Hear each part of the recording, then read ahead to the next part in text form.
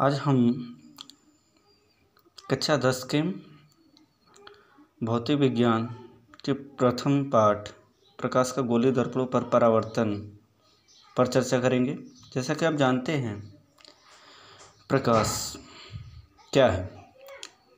तो हम जानते हैं कि प्रकाश एक प्रकार की ऊर्जा है। प्रकाश एक प्रकार की ऊर्जा है, जो वातावरण में स्थित वस्तुओं को दिखाने का कार्य करती है। अर्थात हमें सहायता प्रदान करती है, ठीक? तो इससे हमें यह बात समझ आती है कि प्रकाश में ऊर्जा होती है, जो हमें वातावरण में स्थित वस्तुओं को दिखाने का कार्य करती है, ठीक है? यदि हम आगे बढ़े उसी में तो आप ये जानते हैं कि प्रकाश के गुण, जैसे कि आपको दिखाई दे रहा है, प्रकाश के गुण हेडिंग है। तो यहाँ पर हम जानते हैं कि प्रकाश के निम्नलिखित गुण होते हैं, जैसे प्रकाश सीधी रेखा में चलती है, निर्वात में प्रकाश की चाल थ्री इंटू टेन के पावर एट मीटर पर सेकेंड होती है। प्रकाश विद्युत चुंबकीय तरंगों के रूप में चलता है। प्रकाश अनुप्रस्थ तरंगे होती हैं। प्रकाश में परावर्तन का गुण होता है। प्रकाश में अपवर्तन का गुण होता है। प्रकाश में व्यतीकरण, विवर्तन तथा ध्रुवण का भी गुण होता है। तो इस प्रकार हम लोग इतनी सारी चीज़ें प्रकाश के विषय में बता सकते हैं। ठीक है? अब यदि हम इस बात पर विचार करें कि प्रकाश के आधार पर जो वस्तुएँ होती हैं, वो कितने प्रकार की होती हैं, ठीक है? प्रकाश के आधार पर वस्तुएँ कितने प्रकार की होती हैं? तो आप ये अच्छी तरह जानते हैं कि प्रकाश के आधार पर वस्तुएँ दो प्रकार की होती हैं। पहला, दीप्त वस्तुएँ, और इसी को हम लोग बोलते हैं प्रदीप्त वस्तुएँ भी, ठीक?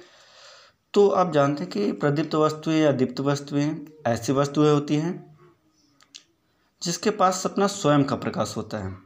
जिसके पास अपना स्वयं का प्रकाश होता है। ऐसी वस्तु हम लोग बोलते हैं दीप्त वस्तुएँ। जैसे लिखा गया यहाँ पर, ऐसी वस्तुएँ जिसमें स्वयं का प्रकाश हो, दीप्त वस्तुएँ कहलाती है। ठीक है? एग्ज़ाम्पल में आप ले सकते हैं सूर्य, तारे, मोमबत्ती, लालटेन, बल्ब आदि। तो इन सबके पास अपना स्वयं का प्रकाश है। अब बात करते हैं अदीप्त वस्तु की, इसे अप्रदीप्त वस्तुएँ भी कहते हैं। तो अप्रदीप्त वस्तुएँ कहते हैं हम ये जानते हैं कि अप्रदीप्त वस्तुएँ ऐसी वस्तुएँ होती है जिसमें स्वयं का प्रकाश नहीं होता। तो यानी ऐसी वस्तुएँ जिसमें स्वयं का प्रकाश ना हो, ऐसी वस्तु को हम लोग अदीप्त वस्तुएँ कहते हैं, ठीक? इसके एग्ज़ाम्पल जैसे ईट, पत्थर, कुर्सी, मेज इत्यादि, इन सब में कोई प्रकाश नहीं होता। मतलब कि यदि आप इसे अंधेरे में रख दें तो ये दिखाई नहीं देगा। यदि इसके पास अपना प्रकाश होता तो ये दिखाई देता, ठीक? हम बात करते हैं हम लोग प्रकाश का परावर्तन। देखिए, प्रकाश का परावर्तन क्या होता है?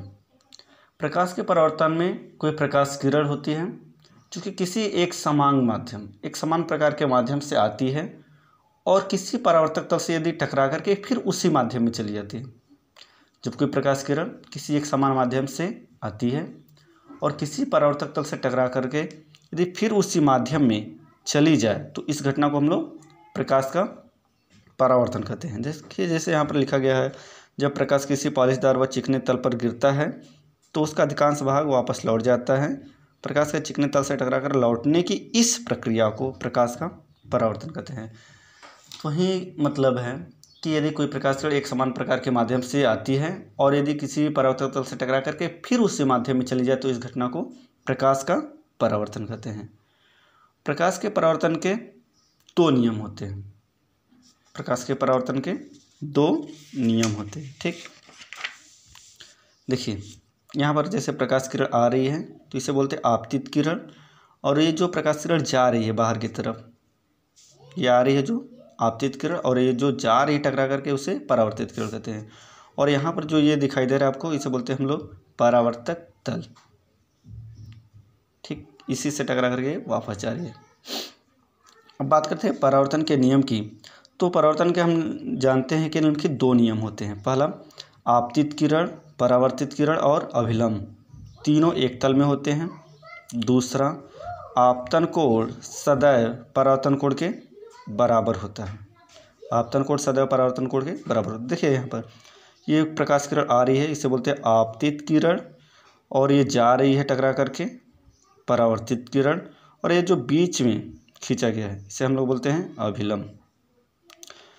एक बार ध्यान रहे कि आपतित किरण यदि अभिलंब के साथ जो कोण बनाती है, उसे बोलते हैं आपतन कोण। आपतित किरण यदि अभिलंब के साथ जो कोण बनाती है, उसे बोलते हैं आपतन कोण। यदि परावर्तित किरण अभिलंब के साथ जो कोण बनाती है, उसे बोलते हैं परावर्तन कोण। ठीक। यदि हम इसमें कुछ और बात करें तो इसमें कुछ पॉइंट्स होते हैं जिसे आपको याद रखना चाहिए। जैसे परावर्तन की क्रिया में हम जानते हैं कि आवृत्ति अपरिवर्तित रहता है। परिवर्तन की क्रिया में आवृत्ति अपरिवर्तित रहता है तथा चाल और तरंग दर्द भी अपरिवर्तित रहता है। मतलब ये दोनों राशियाँ जो हैं, वो क्या रहती हैं? अपरिवर्तित रहती हैं। ठीक है? धन्यवाद।